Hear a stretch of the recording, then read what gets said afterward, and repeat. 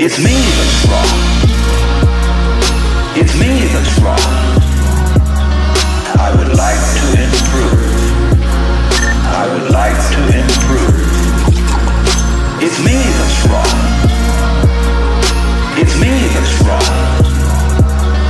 I would like to improve. I would like to improve. And if only I could be the right person.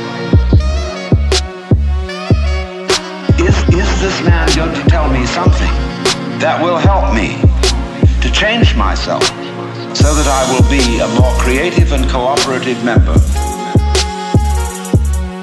of the human race? I would like to improve. It's me that's wrong.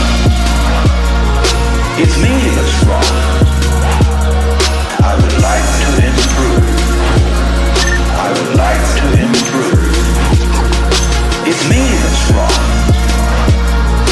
It's me that's wrong.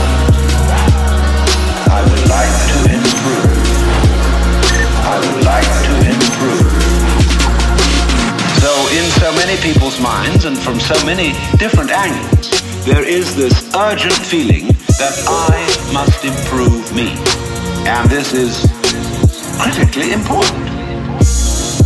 Because it's obvious, at least it's superficially obvious, that the way things are, we are going to hell fast. Now in this question, can I improve me?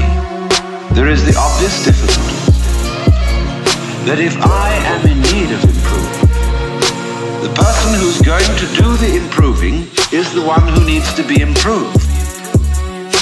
And there immediately we have a vicious circle. It's me that's wrong. It's me